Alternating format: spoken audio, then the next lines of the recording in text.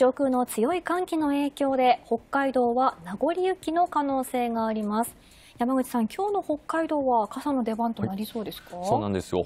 平野部、まあ、標高の低いところはね、雨なんですけれども、山沿いでは雪の可能性もあるんです。はいでその様子、天気図をまずご覧ください。午前6時の実況天気図となります。で今日の北海道の特徴ですけれども、まあ、大陸方面に高気圧、そしてオホーツク海に低気圧がありまして、まあ、あの冬場によく出てくるような、まあ、西高東低の気圧配置となっております。はい、でこれに伴いまして、北から寒気が流れ込んでいます。今日の12時の上空1500メートル付近の温度の予想を見てみますと、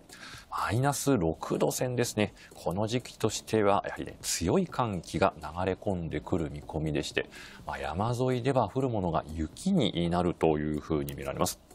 で天気変化で見てみますと、えー、この後もこのオホーツク海側や日本海側そして内陸部を中心に雲が多くてところどころで雨や雪の降る天気です、はい、まあ、特にこの山沿いは雪が降ってくる形ですので